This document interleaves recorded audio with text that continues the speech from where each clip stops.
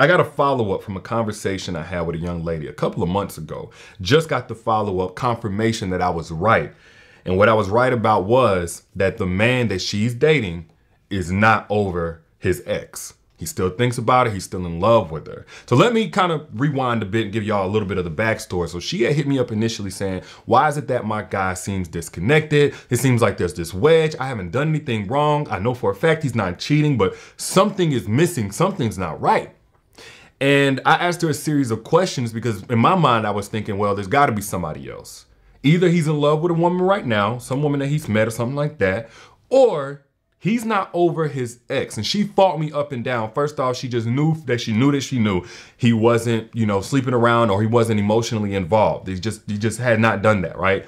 Um, and I said, well, that only leaves one other option. If there's this wedge and you definitely haven't done anything wrong and he's not on the DL or nothing like that, more than likely, there's another woman in his heart. You're not, you're, you're sharing that space with him on, on, an emotional level with somebody else. Y'all are having an emotional threesome. I'm telling you. She was like, no, it's been more than two years since his last relationship. And I stopped it. And I'm gonna tell her, I'm gonna tell y'all the same thing I told her.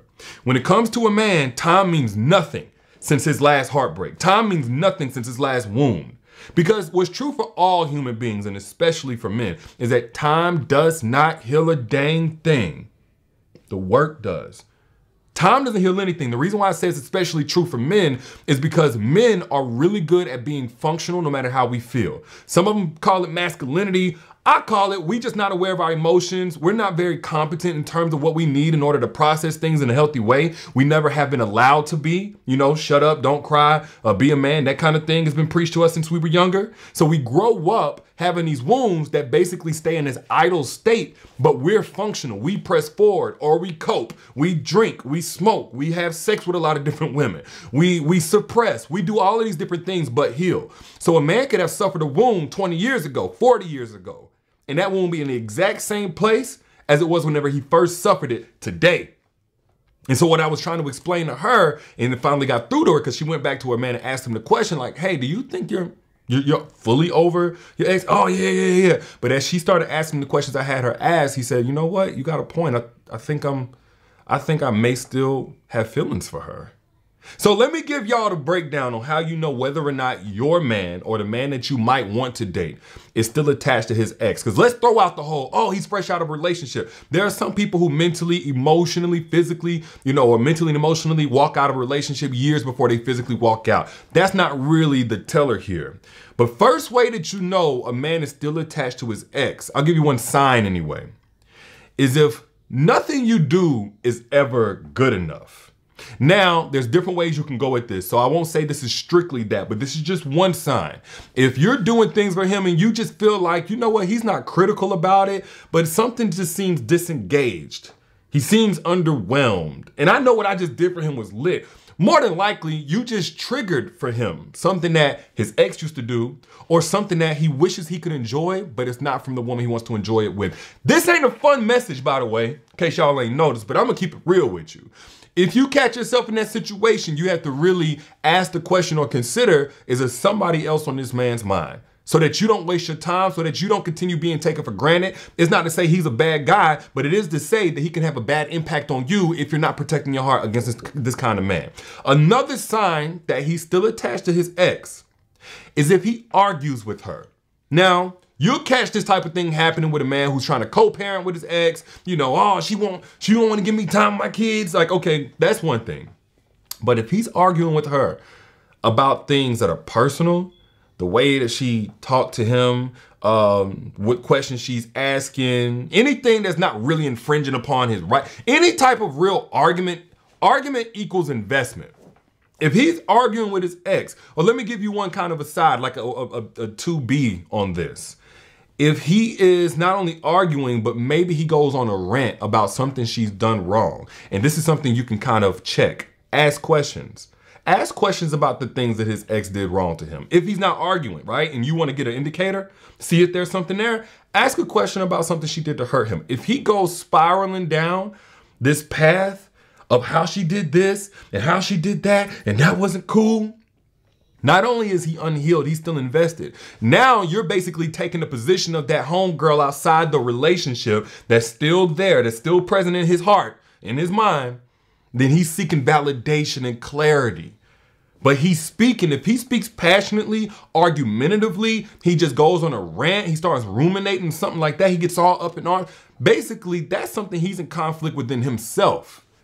He's still he's still going back and forth with himself about how that went. He's still looking for conflict resolution. He still cares whether or not she makes that right.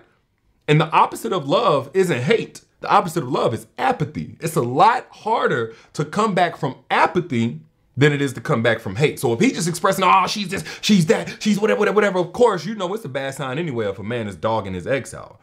And I'm talking about even if she did him wrong, like, you know, just be wary about a man who just wants to constantly shame and throw insults and pit you against his ex. But if he's getting really upset and emotional, that there's still an investment there. Because even a bad investment is still an investment. That kitchen got two cooks in it, so to speak, as the old folks would say. Another way that you know that he's still attached to his ex is if his mind drifts late at night.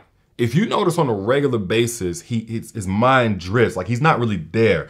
You be talking to him and you just get a whole lot of, huh, what?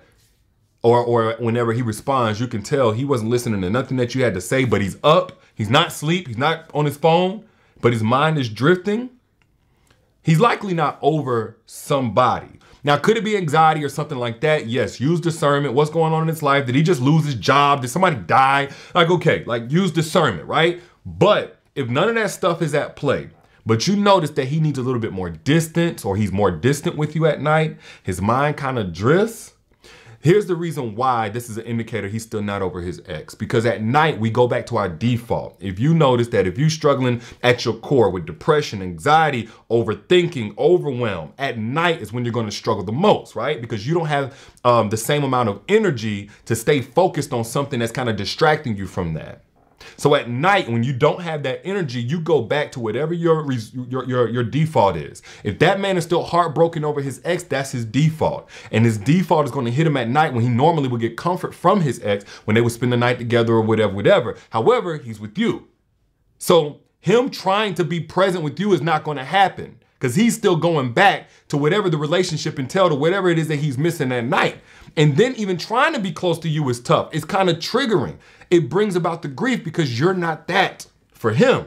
Now, be very aware that just because you ain't that for him don't mean you ain't that for somebody else. And in fact, the reason why I'm telling you telling you this is so that you can discern whether or not this this type of situation is something you should continue investing in. If this is even safe for you. Because I get it, a lot of y'all looking at the, oh, well, you know, she lost her blessing or whatever. She may not have lost him completely if he's still hooked on her. One more way that you know that your man, or at least an indicator that your man may be attached to his ex, is if the sex is very functional. Meaning, it's like he's just trying to get his. Let's talk grown for a second. If he's just trying to get a nut, he's not making love, he's not engaged with you, there's very little to no eye contact, he's not mindful about his pace, about your comfort, you know, he's just getting his, just straight to the mm-mm-mm. And I'm talking about a majority of times. Of course, everybody likes that every now and then. But if eight out of 10 times that you guys are engaging sexually, if he's just getting straight to the point or he wants to sit back and just receive, receive, receive, he could be selfish in the bed. He could be. He could be addicted to porn because that will do it too. But if neither of those things are really present anywhere else outside of this aspect, but you notice that he's just getting to the point as far as trying to get his. Sex is functional. Sex is a distraction. Sex is a lot of times a man's distraction for a broken heart. That's why you have men who will run through a plethora of women whenever they're heartbroken because that's the distraction. That's keeping their mind off of it. They get these little many connections and many soul ties with a woman to try and pull them away from the main soul tie that they've developed, the heart the, the, the, the real investment, the love that they have for a woman because they never got closure. They never achieved closure. So if you notice that he's just having sex with you, like here's what, here's what he's doing. He's basically masturbating, but using your body as lubricant. He is. He can't, he can't make love to you because his heart is somewhere else. His heart is cold. He can engage with you like a woman that he's really in tune with and trying to become more in tune with through the bedroom because that's supposed to be a bonding experience, right? Actually, most people would say for marriage or whatever, but I'm not here to judge. But it's supposed to be a bonding, connecting experience, not just functional, get to the point or what have you. If he can't do that with you, it's because his heart is somewhere else, not just his mind. And this is why it's important not just to evaluate whether or not a man is good. You'll get men with good intentions, otherwise good character, but they're in no emotional state by when at, at the time that you meet them. That's why you have to ask a man questions like, "Hey, in terms of your healing, what have you done to process the things that have happened to you? What work did you put in? If he can't articulate what he's done to heal, more than likely he hasn't healed. Because we've all been through stuff. But if he just says, oh, well, you know, that was back then, that was back when I was 10 years old, 20 years old, 30 years old, that ain't now. Oh, he has done absolutely nothing to heal. He's just coping. And you about to be another coping mechanism. In fact, you probably met him in a season of denial and pursuing you was a part of that denial. So, pursuing you was a part of him saying, well, I'm good. I just need me another woman. Now that's just loneliness. That ain't me missing her. That ain't me heartbroken. That's just me. I just want me another woman. I just miss being in a relationship. I'm in a relationship type of man. Put I down in the chat if you ever heard that from a guy. And then he popped up, up on you a, a month or two later with, you know what, I'm still not over my ex. I'm still not over some stuff. I still got to get my head together. He was in denial. He never had the self awareness to do the correct work on himself so that he could properly be prepared for you. And this is why it's important to not look for or be open to a good man, but to make sure you reserve yourself for an evolved man. And you have to ask the right questions. Now, I talked more in depth about the right questions to ask in order to assess if he's actually an evolved man on my masterclass, Secrets to Make an Evolved Man Crave You. If you haven't gotten access to, the yet, to that yet, click the link that you see pinned right here down in the caption.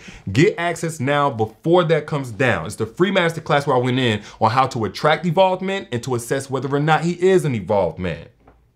Moral of the story is, if that man ain't just for you, he shouldn't be for you at all. No, a piece of a man is not better than no man at all. No man is much better than a piece of a man, and that's including his emotional capacity. But those are just my thoughts. Y'all let me know what you think down in the comments. Get access also to the masterclass, the free masterclass, Secrets to Making Evolved Men Crave You right here, if you're in the market for one. Holla at y'all lady, I'll be good.